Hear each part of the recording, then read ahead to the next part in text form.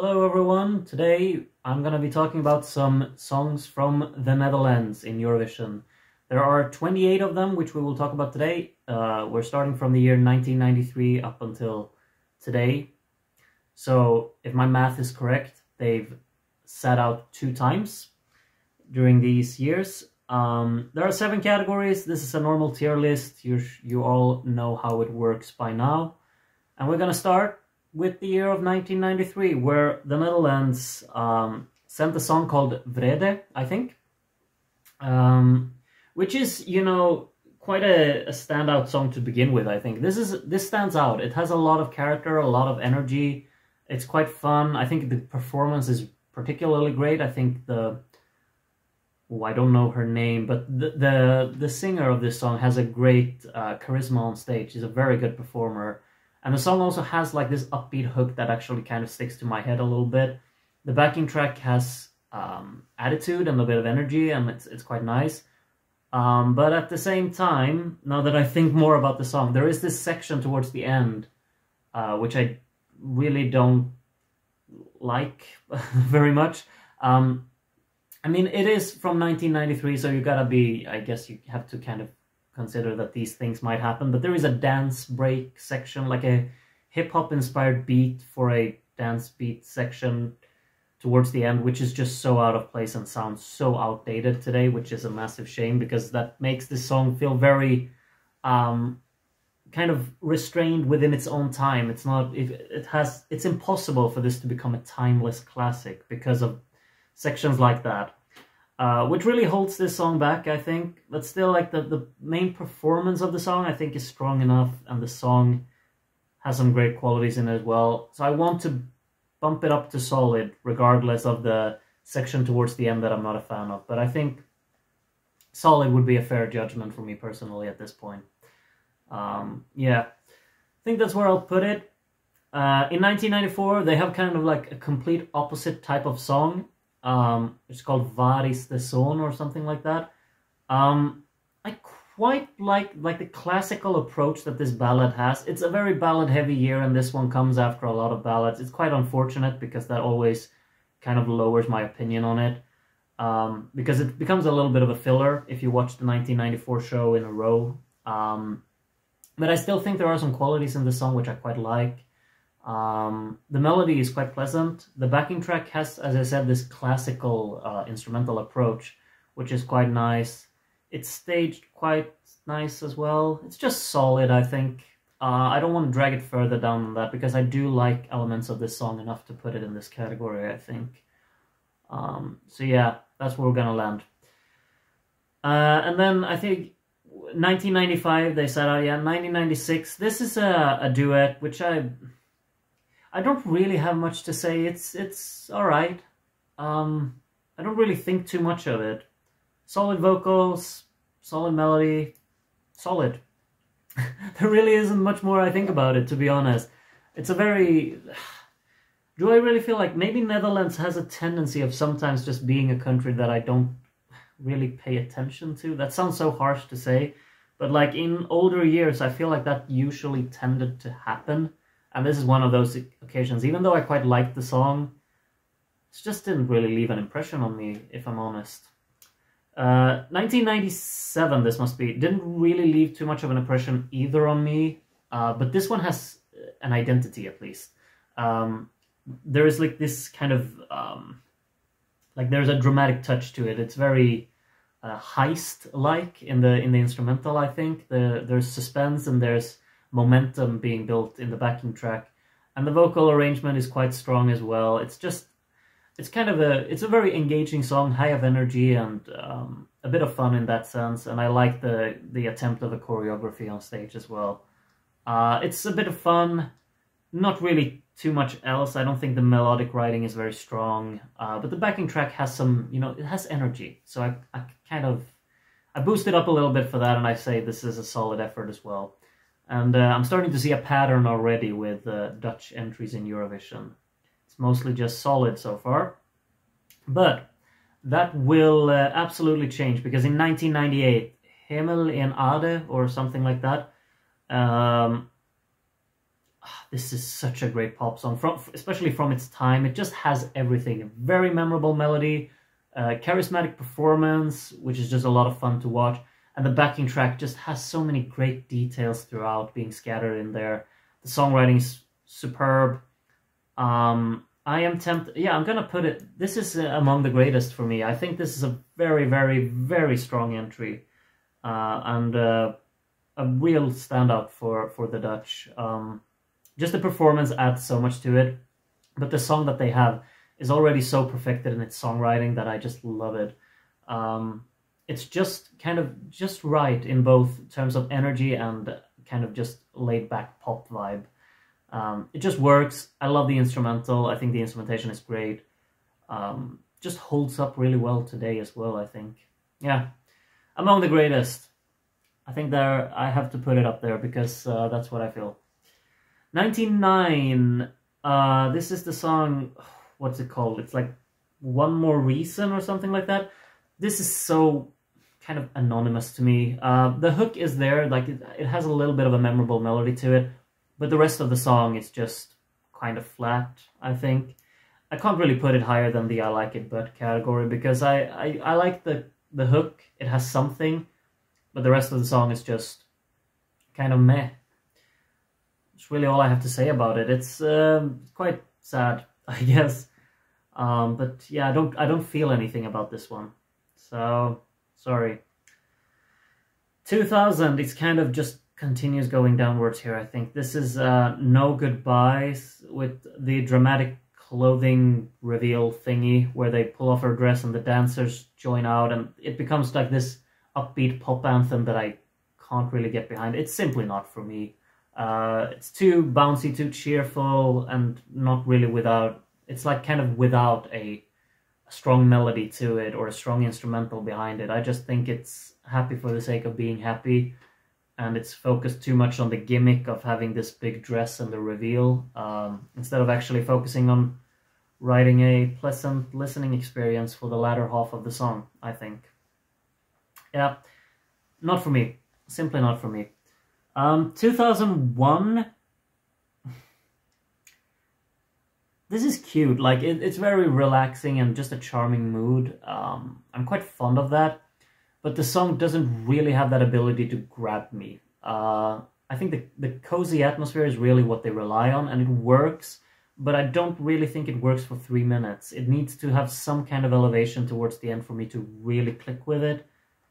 Um, so I have to put it in this category, I think, because I like the whole atmosphere of it, but doesn't really grab me for the final part of the song. I, I kind of get a bit, I start to zone out towards the end of the song, which is a shame because I think there is something in here which I really like, but um, yeah, not quite there for me. Uh, 2003, One More Night, I think this one is called. I kind of mix up this one with this one very easily. I'm so sorry, but uh, this one has a better performance. I think. I think the charismatic performance is really what sells this one. The chorus is kind of catchy. I like the melody of it. I think the backing track has a lot of great energy to it as well. It's it's done with the right approach, uh, and the melody is quite strong. And I think the performance is what really sells it. Um, I think I don't know her name again. Uh, but I think she's a very good performer. So, solid. Yeah, that's where it's gonna land. And 2004, I am quite tempted to put in solid again. Um, yeah, this is, again, like with the 2001 effort, it's very cozy and just feels like a warm hug, the whole song. Um, and I really like the input of the backing vocalist. I think that's the strongest part the the the chorus is definitely uh, what's what makes this song uh, worthwhile. Um, the verses aren't too interesting, but the chorus really just has that nice cohesion of of the call response technique in in the vocal arrangement. And I'm liking the the guitar pattern throughout the song as well. It's very campfirey uh, esque, which maybe isn't really too admirable or ambitious, but it just works in the setting of the song and at times you just want a song like this. And I like the fact that they're sitting down as well. It becomes so much more inviting and just kind of personal and intimate, which I like. Um, solid. 2005, oh, yeah. I don't know what this song is called, and um, I don't really remember how it goes either. I know it's a ballad, and I kind of have it in my head. Uh, it's kind of a bombastic backing track, but it's just not. It lacks memorability. Um, yeah, I like parts of it. I think it's kind of well performed and well executed. Like it, it does what it wants to do. It's just that the song isn't really quite there. It's not. It doesn't really carry an identity, and it's not memorable enough. So um, just falls flat due to that. I think. Have to put it down here. Uh, and 2006, Amambanda.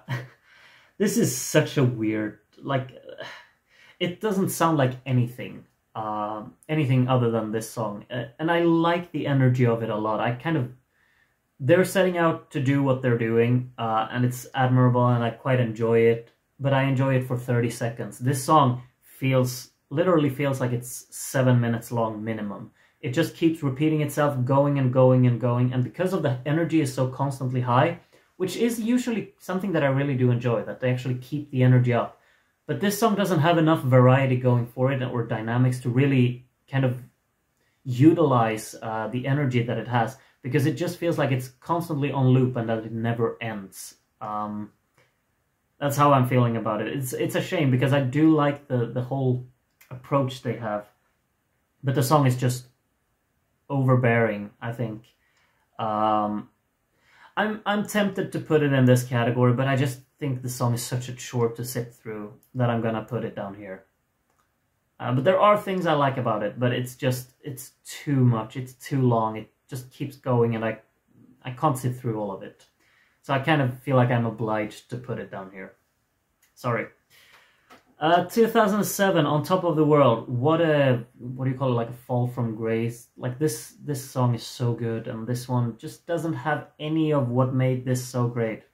Uh, except it has her, which she is a great performer, but um, the song is just too uninteresting. The hook has something in it, like the melody is still has a, a way of actually imprinting itself in my head, but the rest of the song completely lacks um, identity yeah, it's an I like it, but because I think there's something in the performance. I like the orange color grading as well on stage, but uh, the overall song here is not really strong enough for me. Sorry. Uh, a song which I think is far better though, and that I see no one ever talk about. It's "My Heart Belongs to," what was it? "My Heart Belongs to Me," or "Your Heart Belongs to Me." I don't. I don't remember the name of the song. I'm sorry. I'm sorry. I'm starting to kind of uh, make my point invalid by just not knowing what the song is called. I think it's Your Heart Belongs to Me. Um, I think the song has great energy. The, the percussion throughout is really uh, a lot of fun. There's a playfulness in the song. The performance isn't too outstanding. It's kind of became a little bit forgettable when you see it live. Um, but I think the song that's here has a great instrumentation, uh, has a lot of energy, a lot of drive, and I think the hook as well is quite strong. I'm going to put it in really great because I'm feeling generous. But I really do enjoy this one. Um, I enjoy it a lot, actually. Something that I don't enjoy... Oh, Shine. Jeez. What happened here? These middle-aged men in sparkling costumes and the lady with the DJ table, I think it is. I never want to see or listen to this ever, so I am not very well read on it, uh, on what it actually is in this performance. I just think the song is I mean, I get, I get the intention, but it's no, it's so clumsily put together. I can't like it. I can't. I get it that it could be like a guilty pleasure or something, but it's not for me. No, no, no. What happened there?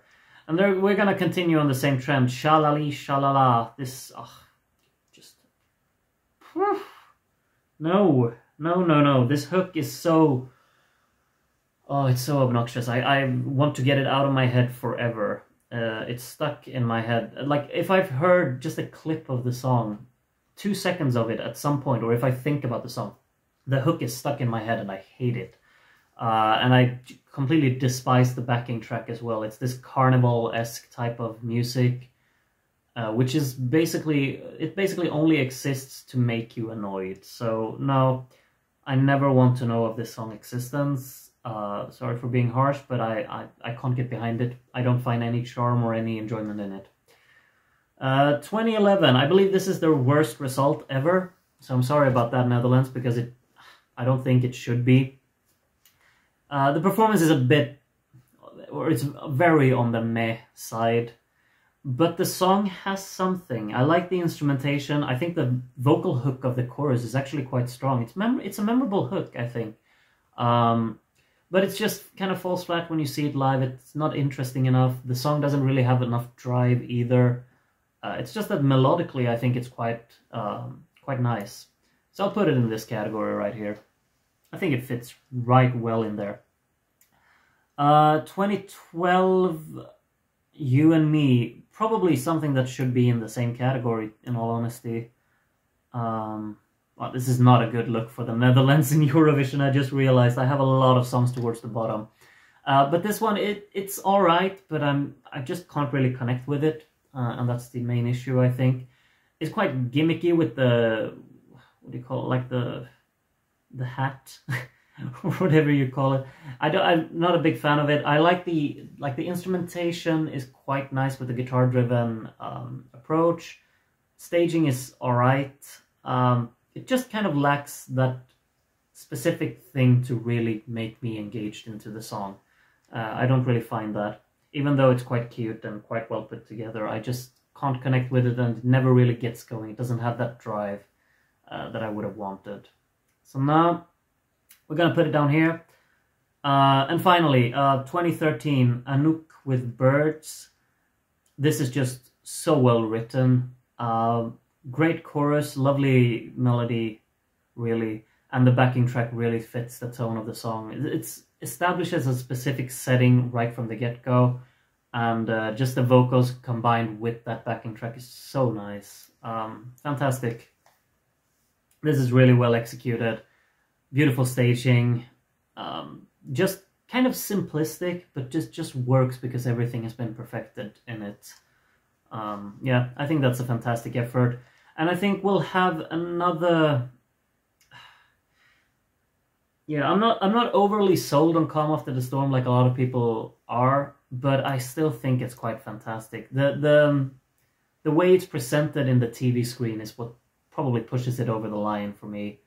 It's so intimate. Um, it's like you're a fly on the wall between these two uh, artists with the camera just spinning around them constantly and the song flows so pretty uh, it's very nice. I like the verses a lot, actually. The verses, um, I mean, it's, I think it's kind of difficult to write verses that really leave an impression, but I think in this one it just works, and I think they really rely on the duet concept to really um, hammer it home the the personality of the verses, um, because the chorus becomes the the duet section and the verses become the more personal sections for each for each singer. It's just a really nice, well written song uh, and the performance really just elevates it. Really has a great setting and a great atmosphere to it. It's just really pleasant, and I enjoy listening to it a lot. Um, yeah, fantastic. Uh, 2015 Walk Along. No, not for me. Um, the hook is quite. It's too repetitive. It's just a why, why, why, why, why um, that I don't really enjoy. Melodically, very distant from being anything that's interesting to me. Performed, it's performed all right, but the song doesn't really have a, any type of chance to ever grab me as a listener. Uh, I zone out, and I think the hook becomes quite unbearable uh, pretty fast. Sorry. Uh, 2016, Slow Down. I like this one though. This is performed perfectly, I think. That's that's really what sells it.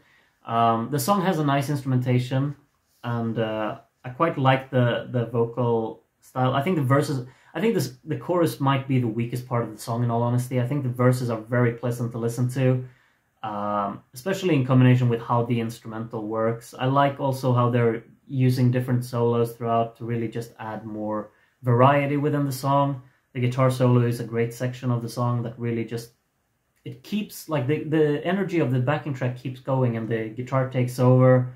And it's a very uh, well flowing section of the song as well. This song just does everything it wants to. Unfortunately i think the hook is a bit on the weaker side uh, but that's being matched up then by the fantastic performance. I just love the way they staged it it feels so minimalistic which just works for a song like this perfectly. Um, I'd say really great, on the verge of uh, almost being up in the fantastic category, but I think the hook is what really drags it down a little bit. Uh, I think it's a bit on the repetitive side, unfortunately. Uh, in 2017, uh, don't really remember the name of the song, but uh, vocally just flawless. I love the way they harmonize on top of each other. The performance is a bit empty, but they still have a lot of character and or charisma to really just shine through the the screen, which pushes it over the line and kind of evens out any sh shortcomings of the stage being empty. Song doesn't interest me too much, in all honesty, but the vocal arrangement does. So uh, really great. Yep. Um, hmm? 2018, uh, Outlaw in 'Em. Oh, I actually really like this one. Uh, I know this song has a lot of people who just can't really get behind it because it is this very typical, uh, what do you call it? Uh, the country rock type of music. It's, I mean, I get that if you're not a fan of it, you're not a fan of it, and it's very um, gimmicky in that sense. I guess like it's very predictable to the to the genre of music that it is, but I just get so much enjoyment out of it. I think the hook is really kind of infectious in both melody and the backing track. The backing track has a lot of drive, a lot of power. Love the guitars in it. The guitar riffs throughout the song are really really great. I like the incorporation of the of the dancers. It's kind of odd, but it, it just works for me. It's a part of the charm, and I have a lot of fun with this one. Um, I wouldn't turn it off at any time. I just really enjoy watching it, and I think the song just has that ton of drive that really uh, makes me enjoy it so much. Um, I'm gonna put this in fantastic. Actually, uh, I have too much fun listening to this song. Honestly, I get if you if you disagree with me on that one, but it's completely fine. Uh, but I have too much fun with it. Yeah, 2019 arcade. Uh, yeah among the greatest for me personally. It's just so well written um, and incredibly well staged. I mean, you gotta say, it's. They really knew they had the song this year and they put everything into making the effort to win it. Um, first time I heard the song, it's kind of blew me away with how well produced it was, how great the sound design was. I love the switch in the first verse when the like you you introduce everything with the piano and the kind of drowned out um, very tranquil soundstage and this piercing guitar takes over. Uh, it's just one of those moments that actually gives me chills. The only thing that i kind of don't like about it is the fact that he pretends to play the piano when they do that switch. I oh it does my head in. I can't watch the performance without kind of just what do you call it grinding my teeth at that but it's fine. It's fine. I'm over it uh, it's such a small little detail anyway, but I just love that part in the backing or like in the instrumental when the when the instruments switch like that because it's done with such a kind of a heart wrenching uh, tone in it. That guitar sounds fantastic, by the way, throughout this song. It's such a you know just a shivering guitar. It's with the bright sound. It's very hollow. Oh, I love it, and it just works in the atmosphere of the backing track as well. The the production quality is insane honestly. And the final chorus has so much drive in it when the drumming really just kicks it up a notch and the strings come in. It's just one of those finales that really just ties everything into the bow. It, it ends just the way you wanted it to end, which I love. Yeah, very, very good. Very, very, very, very good. Among the greatest. Uh, Grow. I like the fact that this is so personal, but the song doesn't quite really reach all the way for me. I think it ponders on a bit too long and doesn't really carry an elevation that makes me want to really, really enjoy it. Uh, vocally, I think it's quite strong. I like the vocal arrangement as well with the backing vocalists that join in. It's just that the song doesn't really take that final uh, elevation that I want it to have. So it doesn't quite evolve into, into what I want it to be. But maybe it evolves into what he wanted it to be or what they wanted it to be. I don't know. But for me as the audience, I'll put this in solid because I enjoy it, but it doesn't quite push it over the line for me. Mm. Um, in comparison, I do prefer Birth of a New Age. I think this song has such a great hook.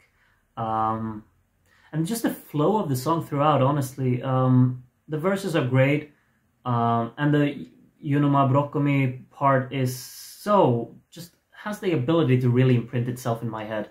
I really like it, uh, and I like the chanting type of vocal that really backs it up as well.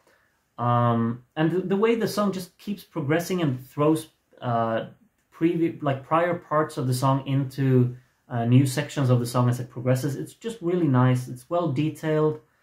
Um, has a great hook. I'm also loving the playfulness of the arrangement, both percussive wise and energy wise.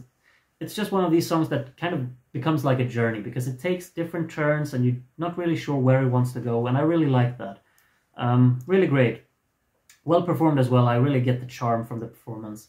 Uh, I think it's a very unjustified uh, zero points from the televote, but what can you do about it? I think it's a really great effort nonetheless. I also think uh, De diepte is quite a great song. I love the guitar. Like, I love the sound of the guitar in the opening of the song. Um, the hook doesn't really grab me. Uh, it's a bit too one note, um, not quite engaging enough melodically. Um, but it's still, you know, it has the backing track. There's a great tone in it. It's very well produced. Mm, I like the mixing work a lot yeah, it's it's really great because the performance is also quite strong. The the staging isn't too remarkable, but it's such it still performs so well. The song, like it's sung very well. The lighting is very pretty, and I think maybe I think it's the guitar arrangement that really pushes it over the line to the really great category, uh, regardless of the few complaints I have about the song. Um, so yeah, that's how I would rank the. Uh, I believe it was 28 songs from the Netherlands in Eurovision from the year 1993 to 2022. Um, and possibly you completely disagree with my list, and that's completely fine. But do tell me what you think is your maybe your biggest discrepancy uh, from my list to your list. Uh, or maybe you can tell me something that you, oh, I absolutely agree on this part. That's always nice to hear. something that people can agree on. Um, but yeah, that's the list for the Netherlands. Hope to see you in the next tier list as well, which uh, will be... Uh, I don't know my alphabet. Maybe North Macedonia? Could be up next. Uh, so hope to see you in that one. Take care of yourselves until, um, well, whenever I see you. And uh, bye-bye.